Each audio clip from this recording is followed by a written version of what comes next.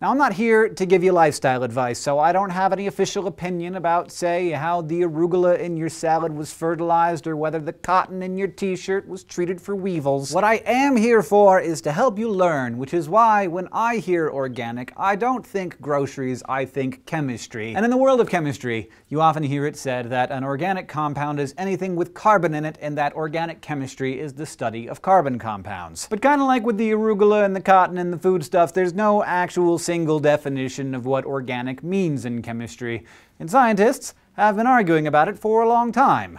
Kind of like how moms argue about whose homemade baby food is the healthiest. It usually comes down to whether the stuff you're talking about is simply organic enough. The confusion, as it so often does, has its roots hundreds of years ago.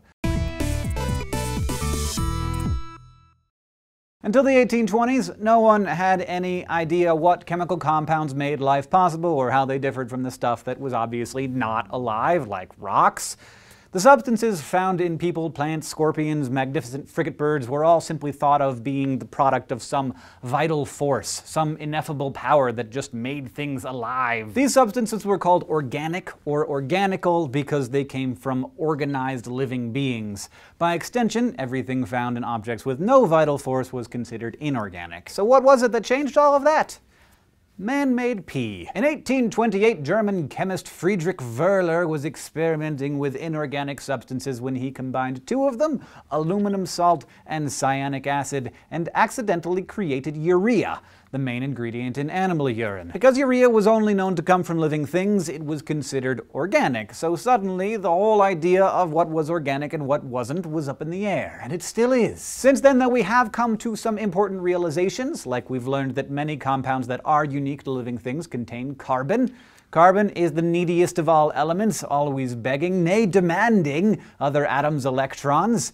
This neediness means that carbon can bond with up to four atoms at a time, which makes for long, strong, complex molecules, like amino acids, sugars, lipids, the stuff of life. But still, just because something has carbon doesn't mean that it's alive. Diamonds, for instance, or coal, you wouldn't consider those organic. So since the days of Wöhler, chemists have managed to, if not define what is organic, at least rule out a few things that aren't.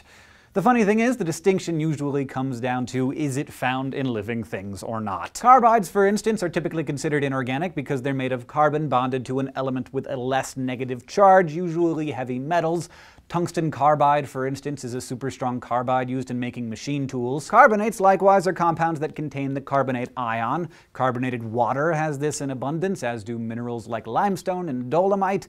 These are all considered inorganic. But when the ion reacts with other larger compounds that also contain carbon, it can form complex molecules like esters, which are important in biology and are called organic carbonates. Confused yet? Well, how about this? Oxides of carbon are also inorganic, like carbon dioxide, which you and I are exhaling right now. Even though it's coming out of your body, you'd be hard-pressed to find a chemist in the world who'd call carbon dioxide an organic compound. Why? It all depends on who you ask and what their chemical argument is. Some say that a carbon compound has to be big and complex, which CO2 isn't. Others argue that organic compounds require a covalent bond. That's where two atoms share an electron between carbon and another element.